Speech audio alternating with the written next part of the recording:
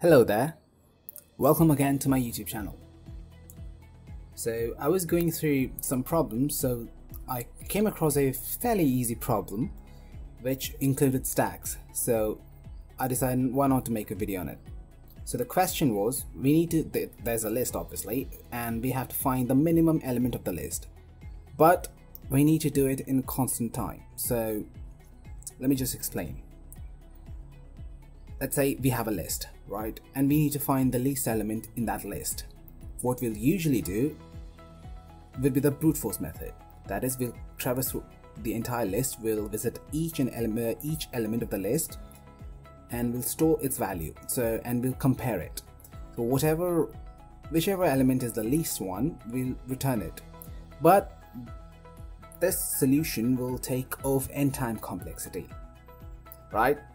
So the trick is we need to do it in a constant amount of time. We can do this by using stacks.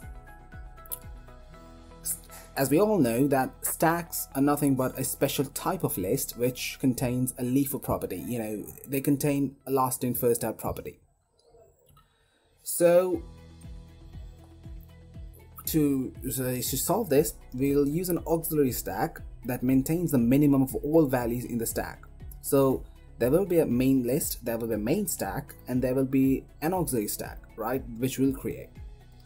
We'll also assume that each element of the stack is less than its below element. In the min stack, we'll assume that each element of this stack is less than its below elements. So the topmost element will be the least one. That is the trick. So for simplicity, let us call the auxiliary stack min stack. When we pop the main stack, we pop the min stack too. When we push the main stack, we push either the new element or the current minimum, whichever is lower. This is the trick. At any point, if we want to get the minimum, then we just need to return the top element from the min stack. Let us take an example and trace it out. Initially, let us assume that we have pushed two, uh, let me see this, yeah, 24615 onto the stack. So this will contain, this will make us, this will form the main stack. Based on the trick or the algorithm that I mentioned above, the main stack will look something like this. Right? So as you can see, the topmost element is the least element. So this is the trick.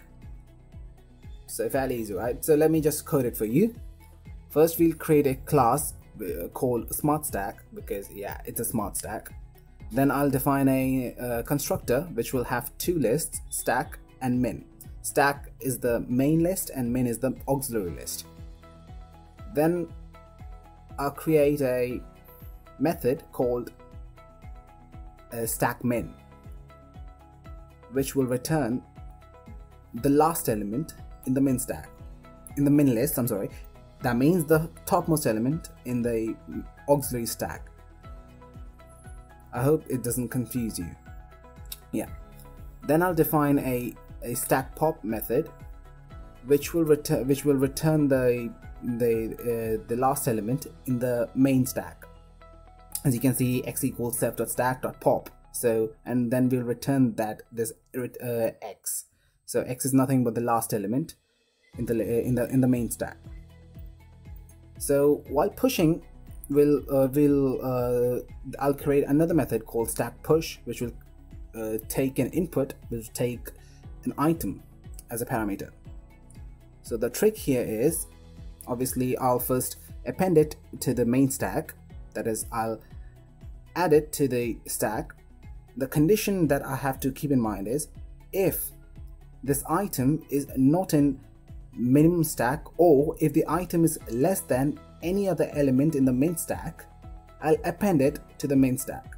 That is, this new element, this new item which is lower than all other values in the min stack will come at the top of the min stack.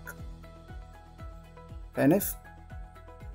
Or else I'll simply append it or uh, append the min stack with the last element of the min stack that is which was earlier which was the earlier one for, for, for example let's say i'm talking about 5 right So when I'm adding 5, I know that this is less than 1.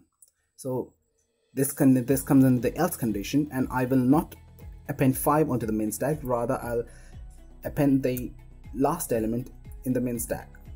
That is 1. So this is a solution.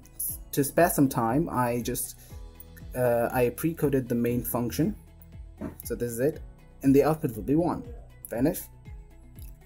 The time complexity is O of 1, but unfortunately the space complexity is O of n too, because we created an auxiliary stack. So that was it. If you've liked the video, I suggest to please um, hit like button and subscribe to this YouTube channel. Till next time, cheerio.